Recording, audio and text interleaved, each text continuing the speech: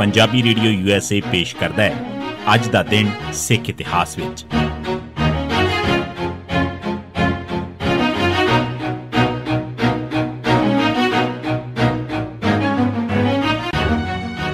ਸਿੱਖ ਇਤਿਹਾਸ ਦੀਆਂ ਘਟਨਾਵਾਂ 'ਚ 17 ਮਈ ਦਾ ਦਿਨ। 1762 ਸਿੱਖਾਂ ਵੱਲੋਂ ਸਰਹੰਦ ਉੱਤੇ ਹਮਲਾ। 5 ਫਰਵਰੀ 1762 ਦੇ ਦਿਨ ਤਕਰੀਬਨ 25000 ਸਿੱਖ ਕੁੱਪ ਹਰੀੜੇ ਦੇ ਕੱਲੂ ਘਰ 'ਚ ਸ਼ਹੀਦ ਹੋਏ। ਅੱਧੀ ਸਿੱਖ ਫੌਜ ਖਤਮ ਹੋ ਗਈ, ਪਰ ਇਸ ਦੇ ਬਾਵਜੂਦ ਸਿੱਖਾਂ ਦੇ ਹੌਸਲੇ ਬੁਲੰਦ ਰਹੇ। 2 ਮਹੀਨੇ ਮਗਰੋਂ ਉਹ ਖਿਦਰਾਣੇ ਦੀ ਢਾਬ, ਜੋ ਕਿ ਹੁਣ ਮੁਕਤਸਰ ਸਾਹਿਬ ਦੇ ਨਾਂ ਨਾਲ ਜਾਣਿਆ ਜਾਂਦਾ ਹੈ, 'ਚ ਇਕੱਠੇ ਹੋਏ ਤੇ ਸ਼ਹੀਦ ਹੋਏ ਸਿੱਖਾਂ ਨੂੰ ਅਕੀਦਤ ਵਜੋਂ ਗੁਰਮਤਾ ਪਾਸ ਕੀਤਾ। ਸ਼ਹੀਦੀਆਂ ਨਾਲ ਸਾਡਾ ਖੋਟ ਚੜ ਗਿਆ ਤੇ ਅਸੀਂ ਕੁੰਦਨ ਹੋ ਗਏ ਹਾਂ ਤੇ ਹੁਣ ਅਸੀਂ ਅਹਿਮਦ ਸ਼ਾਹ ਦਾ ਆਮੋ ਸਾਹਮਣੇ ਟਾਕਰਾ ਕਰਾਂਗੇ।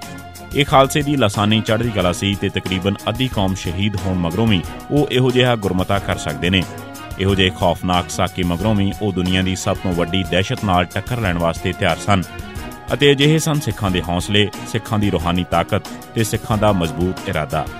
ਸਿੱਖਾਂ ਨੇ ਚੜ੍ਹਦੀ ਕਲਾ ਗੁਰੂ ਨਾਨਕ ਸਾਹਿਬ ਤੋਂ ਹਾਸਲ ਕੀਤੀ ਸੀ, ਗੁਰਬਾਣੀ ਤੋਂ ਸਿੱਖੀ ਸੀ, ਗੁਰੂ ਸਾਹਿਬਾਨ ਤੋਂ ਅਤੇ ਸ਼ਹੀਦਾਂ, ਮੁਰੀਦਾਂ, ਜੁਝਾਰੂਆਂ ਤੇ ਵਿਰਸੇ 'ਚ ਲਈ ਸੀ। ਖਿਦਰਾਣੇ ਦੀ ਢਾਬ ਦੇ ਗੁਰਮਤੇ ਤੇ ਅਮਲ ਵਜੋਂ ਸਿੱਖਾਂ ਨੇ 17 ਮਈ 1762 ਦੇ ਦਿਨ ਕੱਲੂਘਾਰੇ ਤੋਂ ਸਿਰਫ 3 ਮਹੀਨੇ 10 ਦਿਨ ਮਗਰੋਂ ਸਰਹੰਦ ਉੱਤੇ ਹਮਲਾ ਕੀਤਾ। ਸਿੱਖਾਂ ਦੇ ਇਸ ਅਚਾਨਕ ਹਮਲੇ ਨੇ ਸਰਹੰਦ ਦੇ ਸੂਬੇਦਾਰ ਜ਼ੈਨ ਖਾਨ ਦੇ ਗੋਡੇ ਲਵਾਤੇ ਤੇ ਉਸ ਨੇ ਸਿੱਖਾਂ ਨੂੰ 50000 ਰੁਪਏ ਨਜ਼ਰਾਨਾ ਦੇਣਾ ਮੰਨ ਲਿਆ। ਜਦੋਂ ਸਿੱਖ ਇਹ ਰਕਮ ਲੈ ਕੇ ਮੁੜੇ ਸਨ, ਤਾਂ ਸਰਹੰਦ ਤੋਂ ਸਿਰਫ 25 ਕਿਲੋਮੀਟਰ ਦੂਰ ਪੁੱਜੇ ਤਾਂ ਇਸ ਸੂਬੇਦਾਰ ਨੇ ਆਪਣੇ ਇੱਕ ਹਿੰਦੂ ਜਰਨੈਲ ਲਾਲਾ ਲక్ష్ਮੀ ਨਾਰਾਇਣ ਦੀ ਸਲਾਹ ਤੇ ਸਿੱਖਾਂ ਉੱਤੇ ਹਮਲਾ ਕਰਕੇ ਉਹ ਰਕਮ ਲੁੱਟ ਲਈ। ਇਸ ਤੇ ਸਿੱਖਾਂ ਨੇ ਦੁਬਾਰਾ ਹਮਲਾ ਕਰ ਦਿੱਤਾ ਤੇ ਜ਼ੈਨ ਖਾਨ ਤੇ ਲక్ష్ਮੀ ਨਾਰਾਇਣ ਦਾ ਬਹੁਤ ਸਾਰਾ ਸਮਾਨ ਲੁੱਟ ਲਿਆ ਤੇ ਉਹਨਾਂ ਦਾ ਸਰਹੰਦ ਤੋਂ 20-25 ਕਿਲੋਮੀਟਰ ਦੂਰ ਪਿੰਡ ਹਰਨੌਲਗੜ੍ਹ ਤੱਕ ਪਿੱਛਾ ਕੀਤਾ। ਇੱਥੇ ਫਿਰ ਜ਼ਬਰਦਸਤ ਲੜਾਈ ਹੋਈ, ਜਿਸ 'ਚ ਜ਼ੈਨ ਖਾਨ ਨੂੰ ਦੁਬਾਰਾ ਹਾਰ ਹਾਸਲ ਹੋਈ ਤੇ ਉਹ ਮੈਦਾਨ ਛੱਡ ਕੇ ਭੱਜ ਗਿਆ। ਸਿੱਖਾਂ ਨੇ ਇਹ ਕਾਮਯਾਬੀ ਉਦੋਂ ਹਾਸਲ ਕੀਤੀ ਜਦੋਂ ਅਹਿਮਦ ਸ਼ਾਹ ਅਜੇ ਲਾਹੌਰ 'ਚ ਸੀ। ਜਦ ਇਸ ਦੀ ਖਬਰ ਅਹਿਮਦ ਸ਼ਾਹ ਨੂੰ ਮਿਲੀ ਤਾਂ ਉਹ ਬੜਾ ਡਰਿਆ। ਉਸ ਨੂੰ ਮਹਿਸੂਸ ਹੋਇਆ ਕਿ ਉਸਨੇ ਸਰਹੰਦ ਬਰਨਾਲਾ ਮਲੇਰਕੋਟਲਾ 'ਚੋਂ ਨਿਕਲ ਕੇ ਸਹੀ ਕੀਤਾ ਸੀ। 1978 ਨਿਰੰਕਾਰੀਆਂ ਵਿਰੁੱਧ ਅਕਾਲ ਤਖਤ ਦਾ ਹੁਕਮਨਾਮਾ ਤਿਆਰ ਕਰਨ ਵਾਸਤੇ ਕਮੇਟੀ ਬਣੀ। 13 ਅਪ੍ਰੈਲ 1978 ਦੇ ਦਿਨ ਨਿਰੰਕਾਰੀਆਂ ਵੱਲੋਂ ਸਿੱਖਾਂ ਦੇ ਕਤਲੇਆਮ ਤੇ ਸਿੱਖ ਧਰਮ ਤੇ ਹਮਲਿਆਂ ਸੰਬੰਧੀ ਤੇਜਾ ਸਿੰਘ ਸਮੁੰਦਰੀ ਹਾਲ 'ਚ ਸਰਵ ਸਿੱਖ ਕਨਵੈਨਸ਼ਨ ਹੋਈ, ਜਿਸ 'ਚ ਸੈਂਕੜੇ ਆਗੂ, ਵਿਦਵਾਨ ਤੇ ਵਰਕਰ ਸ਼ਾਮਲ ਹੋਏ। ਇਸੇ ਇਕੱਠ 'ਚ ਮਤਾ ਪਾਸ ਹੋਇਆ ਕਿ ਨਿਰੰਕਾਰੀਆਂ ਵਿਰੁੱਧ ਪੰਥ ਦੇ ਨਾਂ ਤੇ ਹੁਕਮਨਾਮਾ ਜਾਰੀ ਕੀਤਾ ਜਾਵੇ।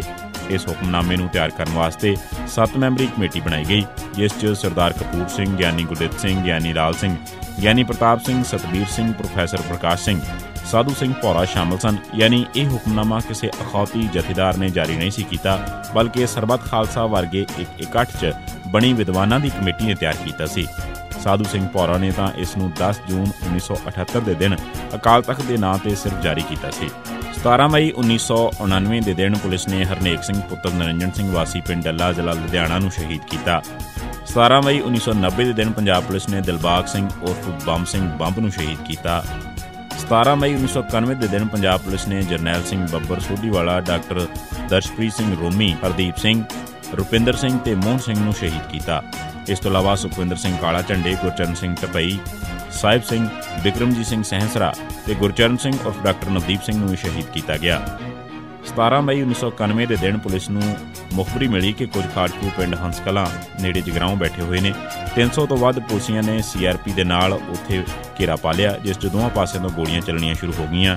ਕਈ ਘੰਟੇ ਚੱਲੀ ਲੜਾਈ 'ਚ ਦਰਜਨ ਤੋਂ ਵੱਧ ਪੁਲਿਸੀਏ ਮਾਰੇ ਗਏ ਤੇ ਪੰਜ ਖਾੜਕੂ ਮਾਰੇ ਗਏ। ਸ਼ਹੀਦ ਹੋਣ ਵਾਲੇ ਸਿੰਘਾਂ 'ਚ ਦਰਸ਼ਪ੍ਰੀਤ ਸਿੰਘ ਰੂਮੀ, ਸੁਖਵਿੰਦਰ ਸਿੰਘ ਕਾਲਾ ਝੰਡੇ ਹਰਦੀਪ ਸਿੰਘ ਰਿੰਪੀ, ਰੁਪਿੰਦਰ ਸਿੰਘ ਖਾਲਸਾ, ਮੋਹਨ ਸਿੰਘ ਸ਼ੇਖੂਪੁਰਾ ਤੇ ਛੇਵੇਂ ਖਾੜਕੂ ਖੁਸ਼ਕਰਨ ਸਿੰਘ ਨੇ ਆਪਣੇ ਆਪ ਨੂੰ ਪੁਲਿਸ ਦੇ ਹਵਾਲੇ ਕਰ ਦਿੱਤਾ ਸੀ, ਪਰ ਪੁਲਿਸ ਨੇ ਉਸ ਨੂੰ ਮਾਰ ਦਿੱਤਾ। 17 ਮਈ 1992 ਦੇ ਦਿਨ ਪੁਲਿਸ ਨੇ ਮੰਦਰ ਸਿੰਘ ਉਰਫ ਚੜ੍ਹਦੀ ਕਲਾ, ਜਗਰੂਪ ਸਿੰਘ ਰੂਪਾ ਤੇ ਚਾਰ ਹੋਰ ਸਿੱਖਾਂ ਨੂੰ ਨਕਲੀ ਮੁਕਾਬਲੇ 'ਚ ਸ਼ਹੀਦ ਕੀਤਾ।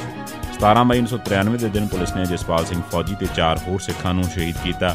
17 ਮਈ 1994 ਦੇ ਦਿਨ ਪੁਲਿਸ ਨੇ ਚਰਨ ਸਿੰਘ ਪੁੱਤਰ ਭਗਤ ਸਿੰਘ ਵਾਸੀ ਗੋਸਲਾ, ਲੁਧਿਆਣਾ ਨੂੰ ਪੁਲਿਸ ਨੇ ਨਕਲੀ ਮੁਕਾਬਲੇ 'ਚ ਸ਼ਹੀਦ ਕੀਤਾ। ਸਿੱਖ ਇਤਿਹਾਸ ਦੀਆਂ ਘਟਨਾਵਾਂ 'ਚ ਏਸੀ 17 ਮਈ ਦਾ ਦਿਨ। ਸੁਣਦੇ ਰਹੋ ਪੰਜਾਬੀ ਰੇਡੀਓ ਯੂਐਸਏ